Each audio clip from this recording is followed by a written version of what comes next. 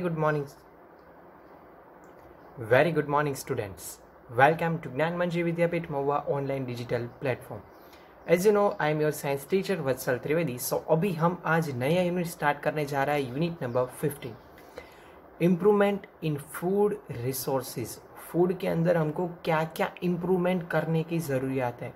सो so, food के अंदर अगर हमको इम्प्रूवमेंट चाहिए तो हमको डायरेक्टली उसके बेस पर जाना चाहिए. बेस क्या होता है? फ़ूड रिसोर्स जहाँ से हमको फ़ूड मिलता है, उसको हम फ़ूड रिसोर्स कहेंगे। सो फ़ूड रिसोर्स के अंदर हम इम्प्रूवमेंट लाएँगे तो ही हमारे फ़ूड के अंदर इम्प्रूवमेंट होगी। तो then after benefit is that our health is also improve so if our food resource is improve then after the benefit is, food is improved and then our health is also improved क्योंकि in a days health is most important healthy रहना काफ़ी ज़रूरी हो गया है।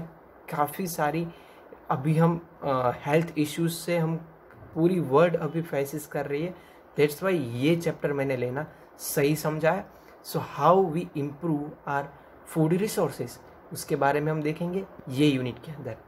So first what is the index of the day need for a increasing food production ऐसी क्या ज़रूरियात आ गई है कि हमको हमारे फ़ूड को इंक्रीज करना पड़ रहा है, उसकी वैल्यू को इम्प्रूव करना पड़ रहा है?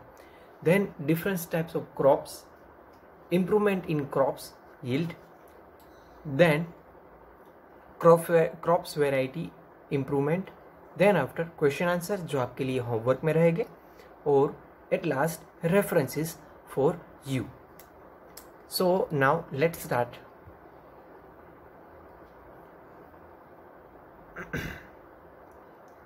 Need for increasing food production. First, our pollution, our population is more than 1 billion and it is still growing.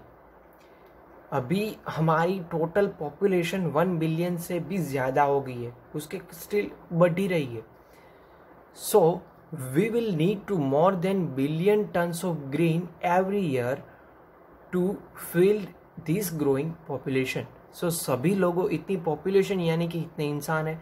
So so, इतने इंसानों के लिए हर साल इतने बिलियन टन्स हमको ग्रेन चाहिए अनाज चाहिए।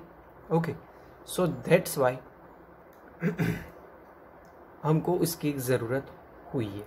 Next since increasing the area of land cultivation is limited it is necessary to increase a production of efficiency of crops and livestock.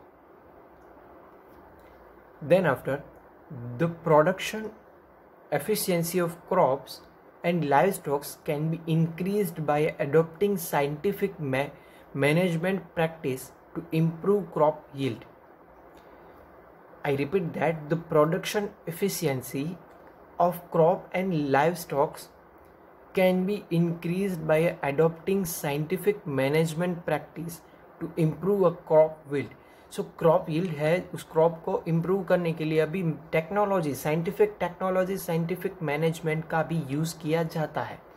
क्योंकि हाल टेक्नोलॉजी के साथ काफ़ी इम्प्रूवमेंट हमको मिल रहा है। Undertaking of mix farming inter cropping integrated farming practice like hybriding uh, like uh, combining agriculture with livestock, poultry, fisheries, bee keeping etcetera तो ये सारी चीज़ें साइंटिफिकली मैनेजमेंट के द्वारा जो प्रैक्टिस है टेक्नोलॉजी के यूज़ से हमने उसकी प्रोडक्शन और उसके अंदर काफ़ी इम्प्रूवमेंट हमने अभी ला दिया है। सो दैट्स वाई जो रिसोर्स पे हम डायरेक्टली इम्प्रूवमेंट करेंगे तो एज अ रिज़ल्ट हमको जो मिलेगा, वो काफ़ी इम्प्रूवमेंट वाला मिलेगा। Now next point is different types of crops अलग अलग टाइप्स के क्रॉप्स होते हैं, हमको मालूम है। So rice wheat maize okay etcetera जो कुछ भी है प्रोवाइड्स अस कार्बोहाइड्रेट्स हमको सभी चीज़ हमने सिक्स स्टैंडर्ड में अंदर देख ली है कौन सी चीज़ हमको प्रोटीन देती है कौन से विटामिन देती है कौन से फैट्स देती है कौन से कार्बोहाइड्रेट हमको देती है। Okay so pulses like the peas beans grams grams, etcetera provides provides protein protein. Oils, seeds like a groundnut, then sims, castor mustard etcetera sunflower है। तो वो सारे चीज़ हमको क्या देती है? फैट्स देती है vegetables spices and fruits provides us vitamin and minerals along with small amount of carbohydrate fats and proteins हमको ये मालूम है कौन सी चीज़ हमको क्या देती है, क्योंकि हमने सिक्स स्टैंडर्ड से लेकर यही हम पढ़ते आ रहे हैं। ओके सो हम इसके अंदर काफ़ी डीप नहीं जा रहे हैं, क्योंकि ये जस्ट आपको मालूम है और काफ़ी इजी रहेगा। एक बार आप ध्यान से देख लेना, पढ़ लेना, सब कुछ समझ में याद रह जाएगा। Then after fodder crops legs berseem oats Sudan grass are grown in a food for a livestock next difference crops required different climate condition ये हमको याद रखना है अलग अलग क्रॉप्स उसको ग्रो होने के लिए कोई particular atmosphere particular temperature particular duration duration of sunlight यानी कि photo periods and the particular climate उसको चाहिए. So difference crops require the difference climate conditions temperature and duration of sunlight यानी कि फ़ोटो पीरियड्स प्रॉपर सनलाइट चाहिए। So so, उसके related उसके basis पर हमने क्रॉप्स को दो टाइप्स के अंदर हमने डिवाइड कर दिया है। फ़र्स्ट खरीफ खरीफ क्रॉप्स और second is rabi crops so first हम देखते हैं खरीफ क्रॉप्स नीचे की साइड पे ही देखना है।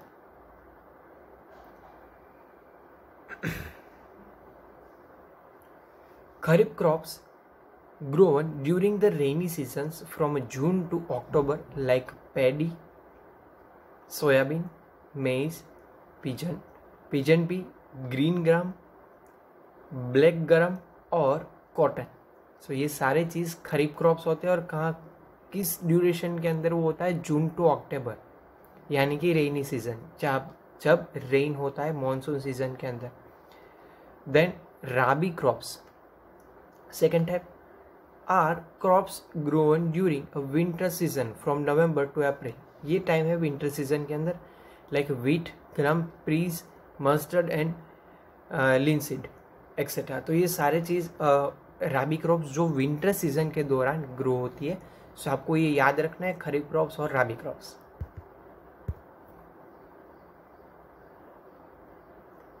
now next point is improvement in crop yield so so, किस तरह से हम क्रॉप को क्रॉप यील्ड को इम्प्रूव करेंगे? Crop yield me sorry crop yield can be improved by the three main activities they are crop variety improvement crop production improvement and crop protection management crop अलग अलग variety भी होती है। Crop production in improvement improve उसके production में भी improvement कर सकते हैं। देन आफ्टर उसके प्रोटेक्शन ऑफ़ मैनेजमेंट क्रॉप का प्रोटेक्शन रखना भी ज़रूरी होता है. Then after we get a best food resources okay so आज हम देखते हैं first crop variety improvement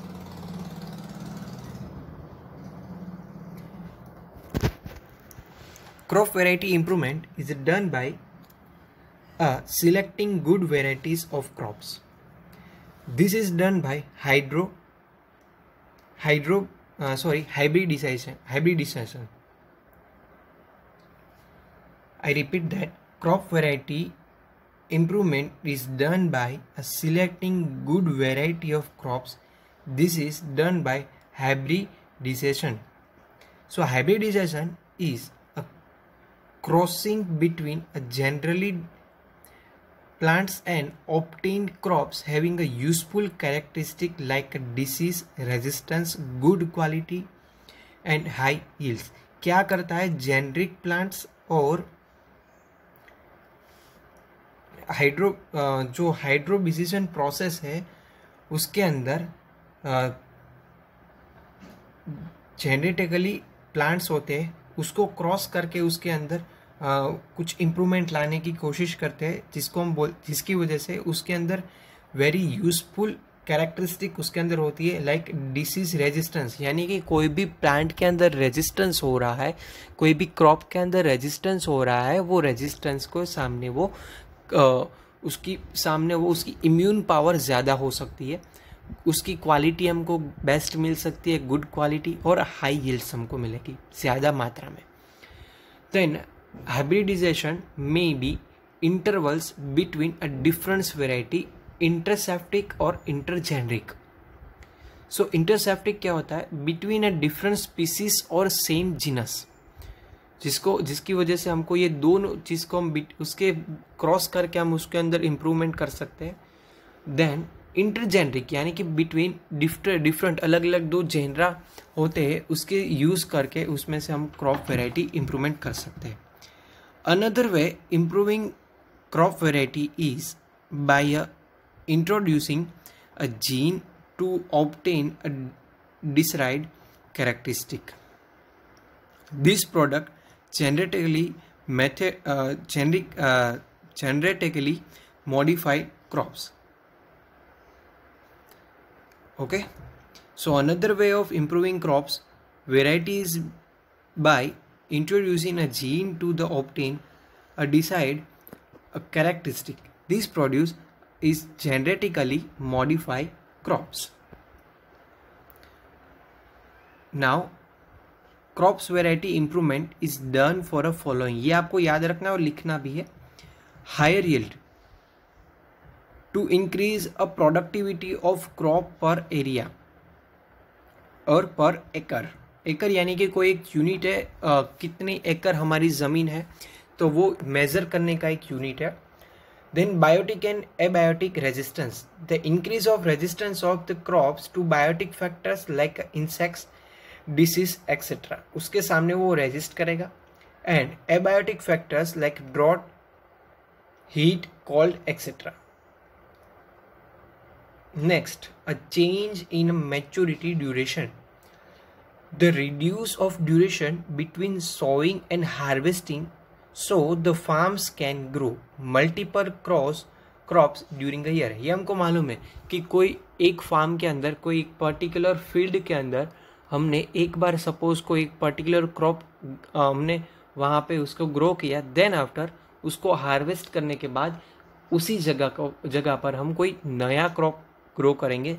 सो so, उसकी वजह से उसकी फर्टिलिटी और सॉइल की मेच्योरिटी के हमको इम्प्रूवमेंट मिलेगी। Then wider adaptability sorry wider adaptability to grow crops different climate condition अलग अलग क्लाइमेट कंडीशन के अंदर अलग अलग क्रॉप्स को हमको ग्रो करना है। Then desirable ऑर्गो agronomic characters characters so characters like tallness and more branches are useful to for a fodder crops and the dwarfness यानी कि softness shortness is desirable for a cereal crops so काफ़ी सारे crops होती है उसकी height नहीं बढ़ती है। यानी कि ड्वाफनेट्स या कोई ऐसे क्रॉप्स होते हैं जिसकी हाइट ज़्यादातर बढ़ती है ये भी एक डिसीज होता है। बट उसको भी हम उसके अंदर इम्प्रूवमेंट कर सकते हैं okay by this method variety of crops improvement so आज हम यहाँ तक रखेंगे। सो so, आज आपके होमवर्क में ये दो क्वेश्चन आपको करने हैं। What is sorry make a short note different types of crops rabi और kharif crops then make a short note on crop variety in improvement next as a reference I will use your science science की text book Wikipedia of improvement in food resources and slide share application के through mister Shiv Prasad की जो आप slides देख रहे हैं ये। सो so, आज ही हमारा वीडियो का फ़र्स्ट सेशन यहाँ पे हमने कंप्लीट कर दिया यूनिट नंबर फिफ्टीन का। अगेन आपको मैं याद दिला देता हूँ, इसके पहले का जो यूनिट हमने कंप्लीट किया और जो भी यूनिट कंप्लीट हो गए, वो आपको आपकी फेयरबुक में लिखना स्टार्ट कर देना है। So thank you very much आज हम यहाँ तक रखेंगे। सो अभी के लिए stay P stay home thank you very much bye take care to be continue and next video thank you very much bye